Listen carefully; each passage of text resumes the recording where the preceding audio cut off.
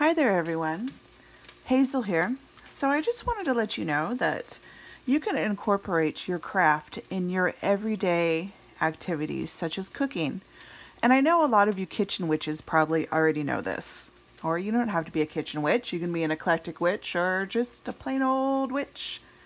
Doesn't really matter. I'm not really big on labels to be honest with you. So to put your uh, intentions into say your cooking, I have some coriander here and I need the powder. So I just need to crush up the seeds.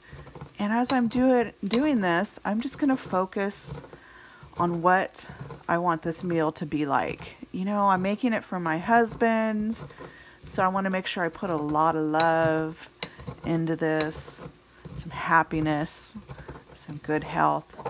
And I'm going to work in a clockwise fashion as I'm crushing this. And I mean, you could just be stirring the pot that the food is cooking in and doing the same thing.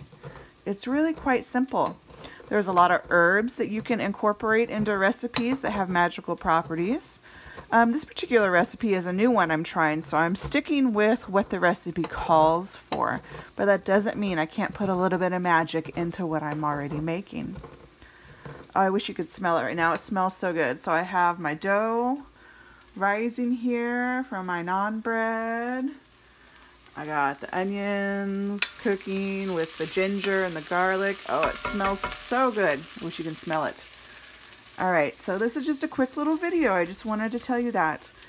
You can put your craft into even your everyday, mundane activities. And cooking is a wonderful way to do that.